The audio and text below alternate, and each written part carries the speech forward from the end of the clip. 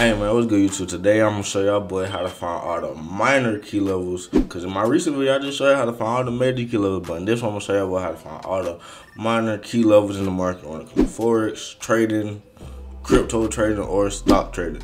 But without further ado, you already know what to do. Let's go to TradingView. You know what I'm saying? No fucking count.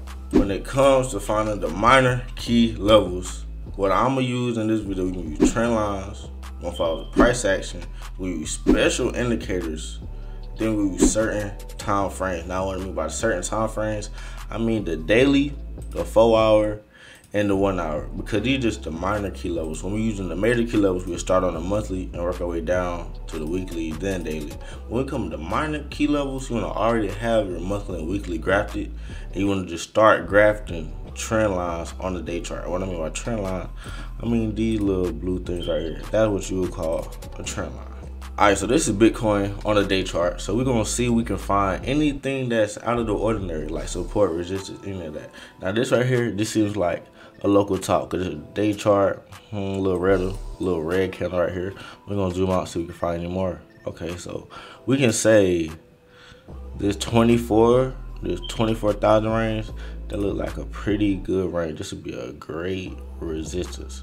Cause support is when the, there's a pause in a downtrend. Resistance when there's a pause in the uptrend. So right now we grafting our resistance right here. I think the resistance will be right up here somewhere. I don't think we're gonna do too much outside of that range. Now we're gonna see we can find a good support. We got the resistance. Now we see if we can find some good support. All right, so this right here, this looks like a great support because like once it fall through this, it gonna start crashing. Then it consolidate it went right back up. So right here, I draw a support box. Right here. Right there. Yeah, yeah, that look like a great support box. So see it broke through support, then it like right here. Like it hit that bitch went down, hit that bitch went down. Then when it passed up, and that next candle bar was inside of there, kept going up. So yeah, I believe this is a great resistance. This is a good support. So we already got that graph. Okay. Now that we got our major support and our major resistance grafted on the daily time frame, we can see we can just find anything that we can use the little trend lines for, like some small ass support resistance. Like this right here, a random ass, we could draw a trend line just because it hit this, it hit this about three times. So I say that's a good touch because it might come back to this. Then we could say this right here, right below it. We could say another time frame below it we're gonna go we're gonna go to the four hour time frame and we see we can find some other shit that we can grab. We got trend lines, price action, indicators, and we got certain time frames we gotta use. But we're using the time frames right now, and the next time frame is the four hour. Alright, so when you go to the lower time frame, you should be able to see patterns more accurately when it comes to trading. Like this right here, I would I wouldn't do anything in this range unless I grab something like right here like this would be a small, like a real small, real small, like let's say Bitcoin breaks down. It's probably gonna hit this and it probably gonna go through it, but it's gonna hit this and just gonna pause just for a little second. Cause like I said, this is a minor level. When they hit the minor levels, it don't always reverse. When it normally hit the minor levels like this, that means the price is exhausted and it's gonna like pause for a little minute. And if it does reverse, it's gonna reverse from like the one minute time frame to the five minute time frame. It won't even make it to the one hour reversal. But as you can see, when we graphed it on the day chart, the chart looks the same on the four hours. See on the day chart, it hit this and it went down. Day chart hit this and it went down. And then, like I said, when it went up, it went up, broke it, and it consolidated for a minute, and it came back down to hit our our range that we had. To, then it crashed all the way up. It did crash all the way up and consolidate at the top, went up, another candlestick closed above it, and it started going up even more. And we seen this on a four hour, but we graphed it all on a day chart. Why I said it is important finding minor key levels. It's important finding major key levels. It's really important to find all support resistance levels when it comes to trading the markets. Now, all right, next example we're gonna use, we're gonna use some Tesla. Tesla. All right, so this is Tesla on the day chart. So you know, you know, just a pretty downtrend. Like I said, we could always zoom out on a monthly, but no, no, no, no. We just looking for some minor keyframes. Honestly, look like we got one right here on the day chart. See, it look like it stopped right here. Now, honestly, I'm gonna draw a box. I'm gonna draw a box right here because it turned the same spot it was once support and then it turned into resistance further along. I'll probably do a small that week. Just like that. Not too crazy. But y'all can see why I drew that just now. Because you see it came up right here. It was support. All the way through that bitch, went up, resistance, resistance, resistance. So honestly, I'm expecting some sort of pullback just by looking at this right now. We're gonna go ahead and graph this little bottom right here. I wouldn't draw a rectangle because it looked like you keep on doing lower lows. So I'm gonna do some shit like that. We'll do some shit like that because it's the only time to hit that. Do some shit like that. And this is the daily time frame. And let's see if we can find something else. I think this looks like one. We're gonna go to the four hour to help confirm it. That's why I say we got other we have other time frames to use. We don't just have to look at the damn day time frame, the four hour. We got other shit we can use to make sure you're way more accurate to get the sniper entries in the market. So this right here, we'll also graph this right here. This would be a great trend line. Let me show y'all why I graphed it. Alright, so back in the day, right over here, it broke through. You know what I'm saying? And it went right back up. So it like it just tested it. Okay, boom. Just right here. It was up. It looked like it had paused for a minute and then it gapped down. Then it hit this little line and it went back up, tested it and went through. Then in this whole range it consolidated and used that as the floor. And it went up, hit this, went down, paused for a little minute. Then it broke through, came back up, and used this as a resistance. And then it began to fall through.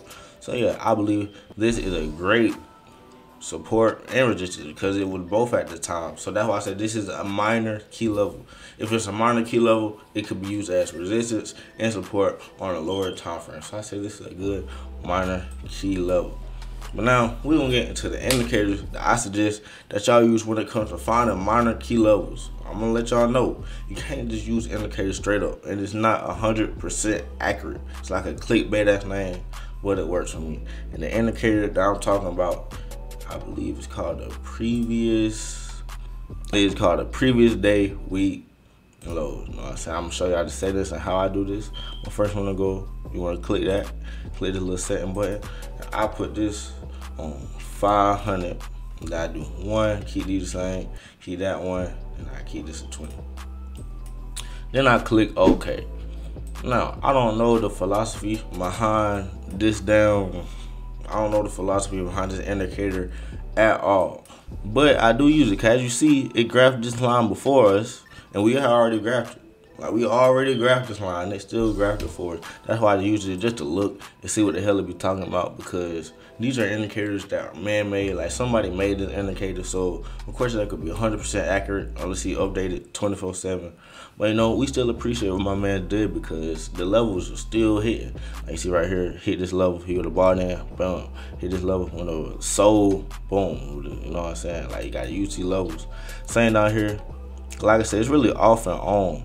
Like right here, hit this, boom, went down. Like I said, it's supposed to graph the daily high, the daily low, the weekly high, the weekly low, and the monthly high, monthly low. That what it's supposed to graph. But you know, this is the one hour, and all these graphs, nigga, that shit don't even make sense.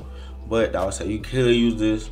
I like using it sometimes. I don't use it all the time, but it does help when it comes to finding like major trend lines, like shit like this. It will help. It will help. Just another random ass indicator that can work.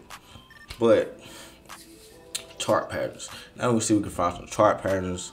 when we're looking for chart patterns, we're gonna go to the down spot. All right, so this is the spot. We're currently looking at the hour chart, but we're gonna go to the daily chart. And we're gonna zoom that bitch out to see what's popping. All right, so spot. Okay, this range right here, I can already see this. This just looks like right here, right here. We're gonna draw this off the hip, off the rip just something like that. And I think this is a pretty good range, okay? You can see, I, oh, bro, goddamn, I hate when that shit happen. But as you can see, it's not 100% accurate, but it looks pretty damn good. You see, consolidated in this range, failed, went up, consolidated, broke through, went up. Oh, hold on, I think I know how to make this range a little bit better. Move that shit up. All right, there. Yes, okay, so yeah, we're gonna see this, cause this could be like supply and demand range hit this bitch fall, hit this bitch fall, hit this bitch fall, hit this bitch fall. So what you think gonna happen now that it's in this bitch? and more than likely gonna fall. And like I said, this spawn daily time frame. Then we go to the four hour time frame. On the four hour time frame, it's also looking like it's finna fall. We're gonna see if we can find some chart patterns. And honestly, cause like I said, it's the weekend right now, so we can see what we can do. But look like I can draw a trend line like bottom or something. It look like something like that will work, but we gonna see. We gonna goddamn I hate when that shit happen. We gonna try to make this shit work though. Goddamn. I think this would be a good trend line when it comes to spot. So spot, I believe this shit a hit. It'll keep on falling down. It'll probably hit like this 408 range. Cause look, I'm looking at this time frame right here. I believe that the weekly, I have to believe that this is the weekly high when the indicator is orange, but we can check that real quick. Yep, so it says the weekly high right here when the indicator is orange. Like I said, that might not be exactly correct because how is this a weekly high and the weekly right here? But this is a key level. Cause like I said, I don't know exactly how they do the levels for that indicator, but this right here, it is a key level. Cause right here it says it, then it come back right here and it does hit it. So I guess that is somewhat important. But I believe that shit gonna keep falling to hit it down.